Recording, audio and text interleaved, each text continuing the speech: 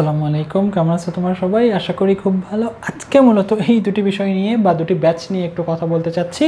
তার মধ্যে জীববিজ্ঞান।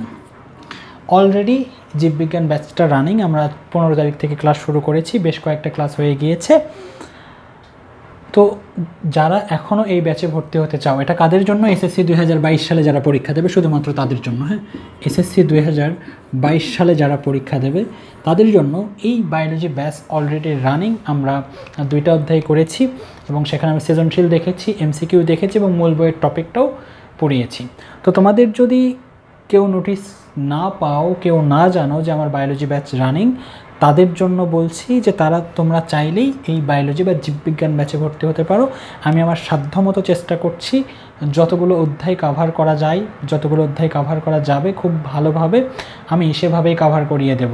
কারণ হচ্ছে সৃজনশীলের একটা কোশ্চেন প্যাটার্ন বুঝতে হবে। ও তার আগে একটা কথা বলে নেই এবং আমি তোমাদের জন্য একটা রসায়ন ব্যাচ ওপেন করতে চাচ্ছি হ্যাঁ?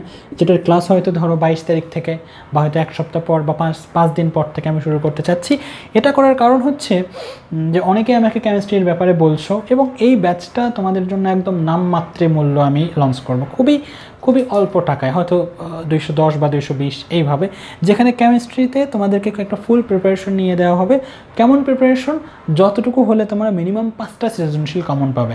তোমরা খুব ভালো করেই জানো যারা এসএসসি দুই হাজার বাইশ সালে পরীক্ষা দিচ্ছ, তাদের যে কয়টা চ্যাপ্টার রয়েছে, সেখান থেকে আটটা সৃজনশীল হবে এবং আটটা সৃজনশীলের মধ্যে তোমাদের তিনটা সৃজনশীল আনসার করতে হবে। তো এই রসায়ন ব্যাচে আমি প্রায় পঁচিশ দিনের একটা কোর্স করাবো তোমাদের।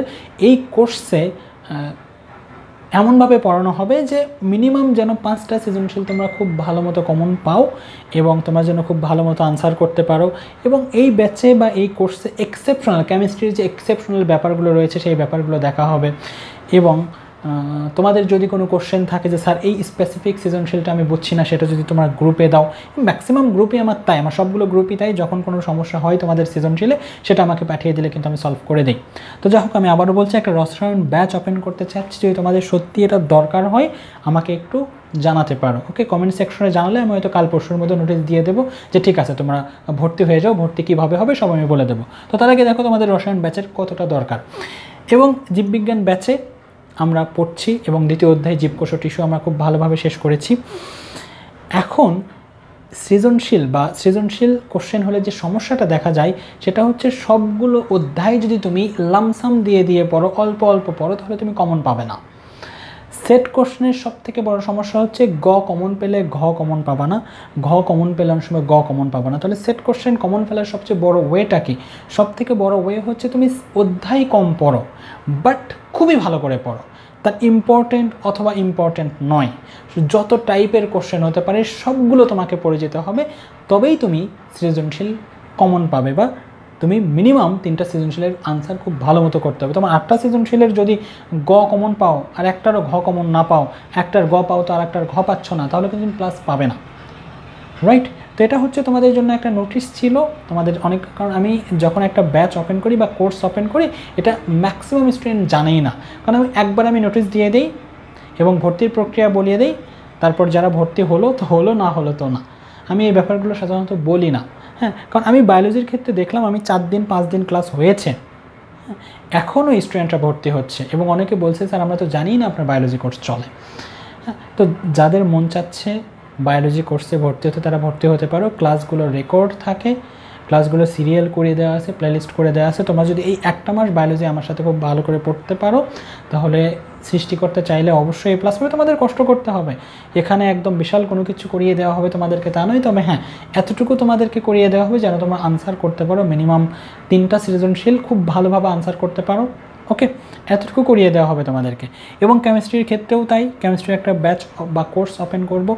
সেখানেও তোমাদেরকে এমনভাবে পড়ানো হবে। যেমন চার নম্বর অধ্যায় থেকে একটা সৃজনশীল হবে, পাঁচ নম্বর অধ্যায় থেকে একটা সৃজনশীল হবে, আট থেকে মানে সরি আট তো নেই, ছয় থেকে হবে।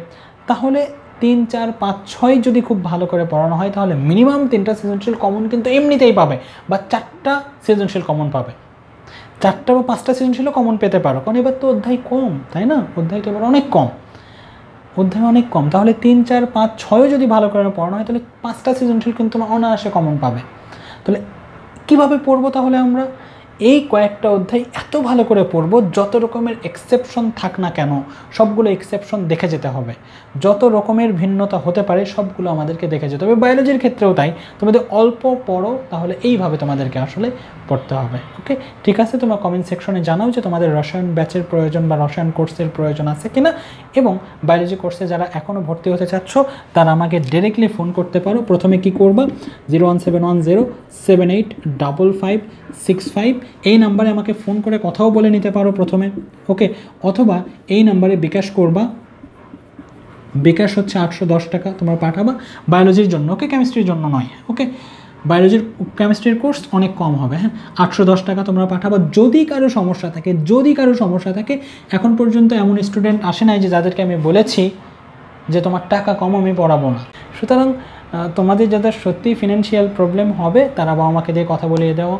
কোনো সমস্যা নেই যদি আমি দেখি যে হ্যাঁ তোমার ফ্রি করা দরকার, আমি ফ্রি করে দেবো। যদি দেখি হ্যাঁ কমানো দরকার, কমিয়ে দেবো আমি। ওকে সুতরাং টাকার জন্য তোমাদের লেখাপড়া হবে না বা আমার ব্যাচে ভর্তি হবে না, এরকম কোনো ব্যাপার নয়। তো যাদের ফিনান্সিয়াল কোনো প্রবলেম নাই, তারা আটশো দশ টাকা পাঠিয়ে দেবে। দিয়ে আমাকে যদি একটা ফোন করো যে, স্যার, এই নাম্বার থেকে টাকা গিয়েছে, আমাকে একটু ব্যাচে জয়েন করিয়ে দিন, আমি জয়েন করিয়ে দেবো।